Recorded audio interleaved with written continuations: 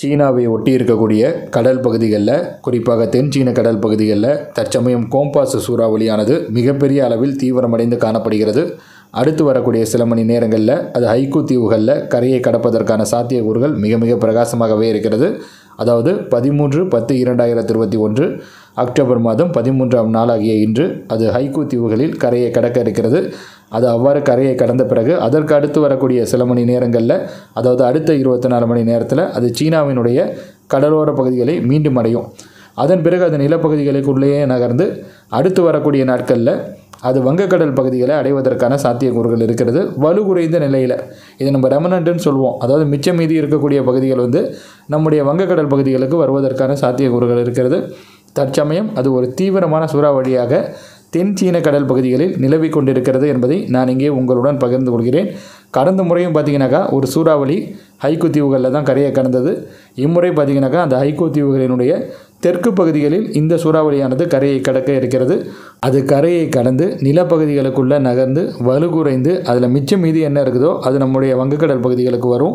அதனுடைய மிச்ச மீதியே பார்த்தீங்கன்னாக்கா வங்கக்கடல் பகுதிகளில் மிகப்பெரிய தாக்கத்தை ஏற்படுத்தக்கூடிய ஆற்றல் மிக்கது தான் அதில் வந்து மாற்று கருத்தே கிடையாது. இப்பொழுது இந்த குரல் பதிவின் வாயிலாக நம்ம அடுத்த இருபத்தி நாலு மணி நேரத்தில் வானிலை எப்படி இருக்கலாம் என்பது தொடர்பாக மேலோட்டமாக சில விஷயங்களை விவாதிக்கலாம். அது மட்டுமல்லாது கடந்த இருபத்தி நாலு மணி நேரத்தில் தமிழகத்தில் பல்வேறு இடங்களிலும் மழை பதிவாக இருக்கிறது. நம்ம எதிர்பார்த்திருந்ததைப் போலவே வட மாவட்டங்களின் பல்வேறு இடங்களிலும் மழை பதிவாக இருக்கிறது. அதுதான் அங்குமிங்குமாக பதிவாகி இருக்கிறது. ஆனால் வட மாவட்டங்களில் குறிப்பாக வட கடலோர மாவட்டங்களின் பல்வேறு இடங்களிலும் மழை பதிவாகி இருக்கிறது என்று சொன்னால் அது மிகையாகாது. சென்னை மாநகரினுடைய தெற்கு புறநகர் பகுதியில் மற்றும் மாநகரின் சில இடங்களிலும் மழை பதிவாக இருக்கிறது. சென்னை மாநகரினுடைய மேற்கு புறநகர் பகுதிகளிலும் சிறப்பான மழை மேகங்கள் உங்களுக்கு பிற்பகல் நேரத்தில் பதிவாகி கொண்டிருந்தது. அதாவது நேற்று பிற்பகல் நேரத்தில் மாலை நேரங்களில் பதிவாகி கொண்டிருந்தது. ஆவடி சுற்றுவட்டார பகுதிகளில் எல்லாம் வலுவான மழை மேகங்களே பதிவாகி கொண்டிருந்தது. ஸ்ரீபெரும்புத்தூர் செங்கல்பட்டு மாவட்டத்திலையும் பார்த்தீங்கன்னாக்கா சிறப்பான தரமான மழை மேகங்கள் பதிவாகி கொண்டிருந்தது. காட்டாங்குளத்தூர் சுற்றுவட்டார பகுதிகளில் நாற்பது மில்லிமீட்டருக்கும் அதிகமான அளவு மழை பதிவாக இருப்பதாக நமக்கு தகவல்களும் கிடைக்க வந்திருக்கிறது. இவை போக புதுச்சேரி சுற்றுவட்டார பகுதிகளிலும் மழை பதிவாக இருக்கிறது. புதுச்சேரி நகர பகுதிகளில் இதுவரையில் இருபத்தி ஒன்பது மில்லிமீட்டர் அளவு மழை பதிவாக இருப்பதாகவும் நமக்கு தகவல்கள் கிடைக்க வந்திருக்கிறது. புதுச்சேரி ஆட்டோமேட்டிக் வெதர் ஸ்டேஷனில் ஒரு இருபத்தி ஆறு மில்லிமீட்டர் அளவு மழை வந்து பதிவாக இருக்கிறது இவை மட்டுமல்லாது கடலூர் மாவட்டத்திலையும் பார்த்தீங்கன்னாக்கா நிறைய இடங்களில் மழை வந்து பதிவாக இருக்கிறது நாகப்பட்டினம் அதே போல் மயிலாடுதுறை மாவட்ட கடலோர பகுதிகளிலும் சிறப்பான மழை சில இடங்களில் பதிவாக இருப்பதாகவும் நமக்கு தகவல்கள் கிடைக்க வந்திருக்கிறது. காரைக்கால் சுற்றுவட்டார பகுதிகளிலும் சாரல் துருள் மற்றும் சில இடங்களில் லேசான மழை வந்து பதிவாகி இருக்கிறது. தஞ்சை மாநகரின் சில பகுதிகள் உட்பட டெல்டா மாவட்ட பகுதிகளிலும் அங்குமிங்குமாக மழை பதிவாகி இருக்கிறது. புதுக்கோட்டை மாவட்டத்தினுடைய சில இடங்களிலும் மழை பதிவாக இருப்பதாக நமக்கு தகவல்கள் கிடைக்க வந்திருக்கிறது. திருவாரூர் மாவட்டத்தினுடைய தெற்கு பகுதிகளிலும் ஒரு சில இடங்களில் மழை வந்து பதிவாக இருக்கிறது. இவை போக தற்சமயம் நாம் பார்த்தோமேயானால் நமக்கு திருவண்ணாமலை மாவட்டத்தில் மழை மேகங்கள் சில நிமிடங்களுக்கு முன்பும் பதிவாகி இருக்கக்கூடிய அந்த செயற்கைக்கோள் மற்றும் ரேடார் படங்களில் பதிவாகி கொண்டிருக்கிறது.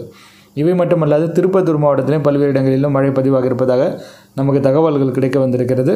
மழை அளவுகள் பட்டியலை பொறுத்தவரையில் காலை நேரத்தில் அதிகாரப்பூர்வமாக வெளியாகுகையில் அனைத்து பகுதிகளின் மழை அளவுகள் நிலவரமும் நமக்கு தெல்ல தெளிவாக தெரிய வந்துடும் இப்போ இந்த குரல் பதிவின் வாயிலாக தகவல்கள் கிடைக்க வந்திருக்கக்கூடிய ஒரு சில பகுதிகளின் நிலவரத்தை இந்த குரல் பதிவின் இறுதியில் நான் உங்கள் கூட பகிர்ந்துக்கிறேன். இப்போ நம்ம நேரத்தை வரையமாக்காமல் நேரடியாக காணொலிக்குள் போய்விடலாம்.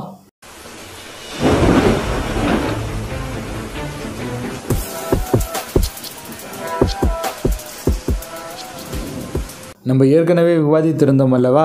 அந்த கிழக்கு மத்திய அரபிக்கடல் பகுதிகளில் நிலவி கொண்டிருக்கக்கூடிய சுழற்சியானது தெற்கு நோக்கிய நகர்வை எடுத்துக்கொண்டிருக்கிறது என்பது தொடர்பாக இதனுடைய தாக்கத்தினால தான் இன்று மிக சிறப்பாக காற்று வந்து மேற்கு தொடர்ச்சி மலை மற்றும் அதனை ஒட்டியிருக்கக்கூடிய இடங்களில் குவிந்தது.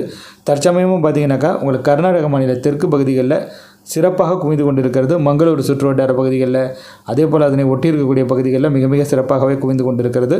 இப்பொழுது அடுத்த சில மணி நேரங்களில் கர்நாடக மாநில காவிரி நீர்பிடிப்பு பகுதிகளிலும் சில இடங்களில் கனமழை முதல் மிக கனமழை பதிவாகுவதற்கான சாத்தியக்கூறுகள் மிக மிக பிரகாசமாகவே இருக்கிறது.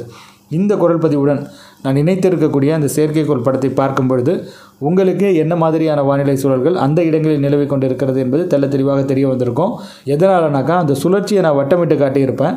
அந்த சுழற்சியை ஒட்டி அதனுடைய தாக்கத்தினால காற்று அந்த கர்நாடக மாநில தெற்கு பகுதிகளில் என்ன மாதிரி குவியுதுங்கிறதையும் நான் வந்து சுட்டி காட்டியிருப்பேன் ஸோ அந்த இடங்களில் பார்த்தீங்கன்னாக்கா சிறப்பான தரமான மழை பதிவாகுவதற்கான சாத்தியக்கூறுகள் இருக்கிறது. அதாவது மங்களூர் சுற்று வட்டார பகுதிகள் உட்பட கர்நாடக மாநில தெற்கு கடலோர மாவட்டங்கள் மற்றும் அதனுடைய மேற்கு தொடர்ச்சி மலைப்பகுதிகளில் இன்று அடுத்த சில மணி நேரங்களில் கனமழை முதல் மிக கனமழை பதிவாகுவதற்கான சாத்தியக்கூறுகள் மிக மிக அதிகமாகவே இருக்கிறது.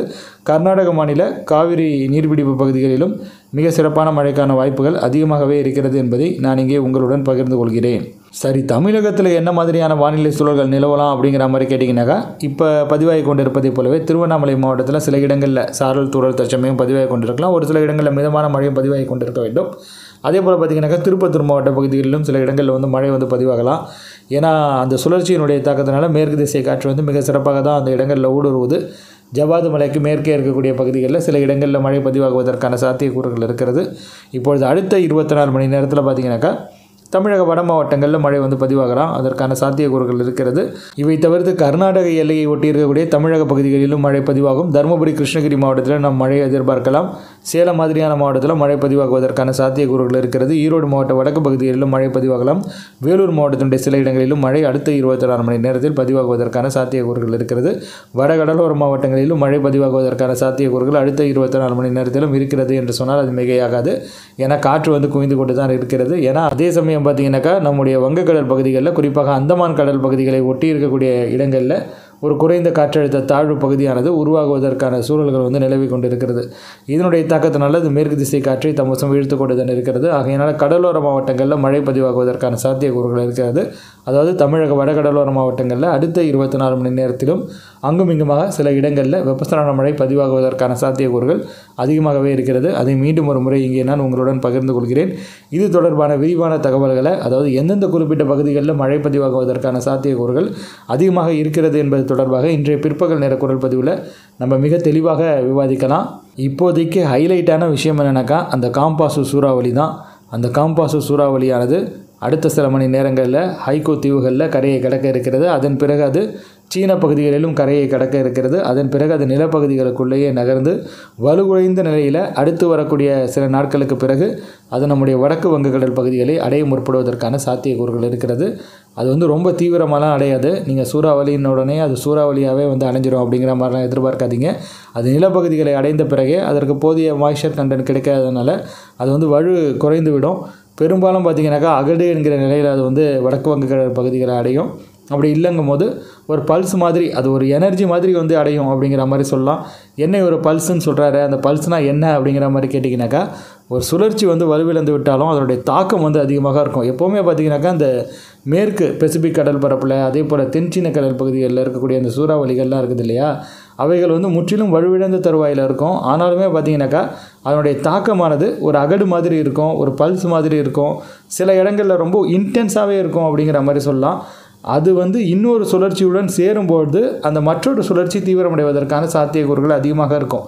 இரண்டாயிரத்தி பதினேழாம் ஆண்டில் தென் மாவட்டங்களில் பெரிய அளவில் தாக்கத்தை ஏற்படுத்திய அந்த ஒக்கி புயல் இருந்த காலகட்டத்தில் கூட பார்த்திங்கனாக்கா இந்த மாதிரியான பெசிபிக் கடல் பரப்பிலிருந்து இங்கே ஊடுருவிய அகடு வந்து ஒரு முக்கியமான காரணகர்த்தாவாக இருந்தது அப்படிங்கிற மாதிரி தான் சொல்லணும்.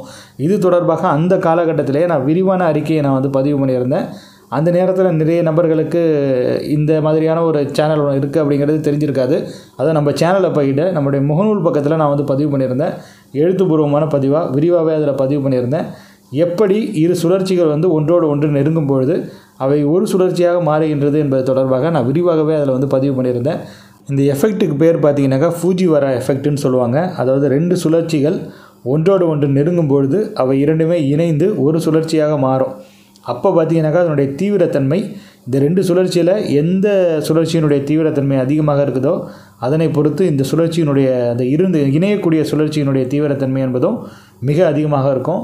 இது ஓக்கி புயல் காலகட்டத்தில் நடந்தது. இது தொடர்பாக நான் எக்ஸ்ப்ளனேஷன் கொடுத்துருந்தேன் அந்த பீரியட்லேயே அப்போ அது நிறைய நபர்களுக்கு தெரியாமல் இருந்திருக்கும். நீங்கள் வேணால் நம்முடைய புதுச்சேரி வதர்மன் முகநூல் பக்கத்தில் இருக்கக்கூடிய பழைய பதிவுகளை தேர்வு செஞ்சு பாருங்கள் அது ரொம்ப கஷ்டம்தான். இரண்டாயிரத்தி பதினேழில் நான் பதிவு செய்திருக்கக்கூடிய அந்த பதிவை நீங்கள் இப்போ பார்க்க இயலுமான் என்ப- என்பது எனக்கு வந்து தெரியல. ஏன்னா அதன் பிறகு நான் வந்து நிறைய பதிவுகளை பதிவு பண்ணியிருக்கேன். ஏன்னா நம்ம தொடர்ச்சியாக தினமுமே பதிவு செய்கிறதுனால அந்த பழைய பதிவுகள் உங்களுக்கு கிடைக்குமான்னு தெரியல. உங்களுக்கு கிடச்சிதுனாக்கா அதில் நீங்கள் பார்த்தீங்கன்னாக்கா தெரிய வந்திருக்கும். அதில் நான் அந்த ஃபூஜிவாரா எஃபெக்ட்னா என்னங்கிறத ரொம்ப கிளியராகவே எக்ஸ்பிளைன் பண்ணியிருப்பேன். அடுத்து வரக்கூடிய நாட்களில் நமது அறிவு பசி சேனலில் இது தொடர்பான டெடிக்கேட்டடான ஒரு காணொலியை நான் வந்து பதிவு பண்ணுறதுக்கு முயற்சி பண்ணுறேன் இரு சுழற்சிகள் வந்து ஒரு இடத்துல இருக்கும்பொழுது ஒன்றோடு ஒன்று நெருங்கும் பொழுது பார்த்தீங்கன்னாக்கா அவைகள் இரண்டுமே இணைந்து ஒரு சுழற்சிகளாக மாறும் அப்படிங்கிறத நீங்கள் வந்து தெரிஞ்சுக்கோங்க.